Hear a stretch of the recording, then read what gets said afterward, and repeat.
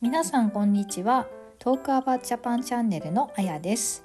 今日は日本のコンビニの話をしようと思います。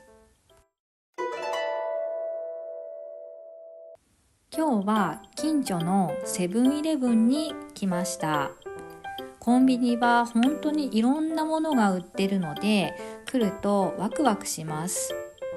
今日は何が売っているのか一緒に見ていきましょう。ランチを買いに来ました。あなたは何が食べたいですか？私はおにぎりが大好きなのでおにぎりを買おうと思います。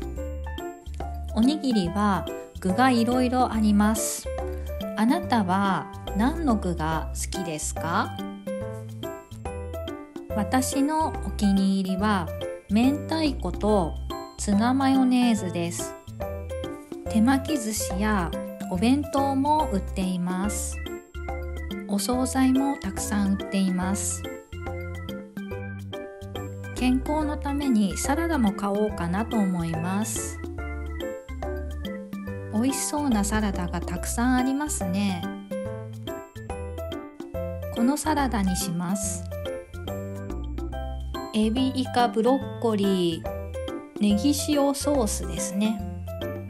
あなたは何が食べたいですか？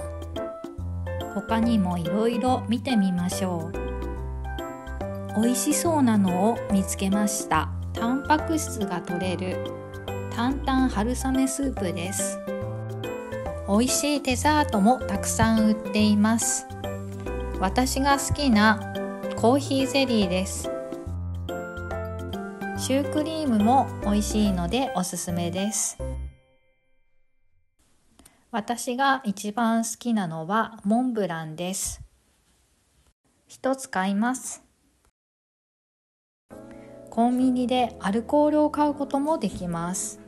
ビールや缶チューハイワインも置いてあります。アイスコーヒーを買おうと思います。ドトールのコーヒーを買います。レジの横に中華まんが置いてあります。唐揚げやアメリカンドッグなどのホットフードもありました。家に帰ってきました。ランチを食べます。デザートのモンブランを食べるのが楽しみです。今回の動画は以上です。グッドボタンよろしくお願いします。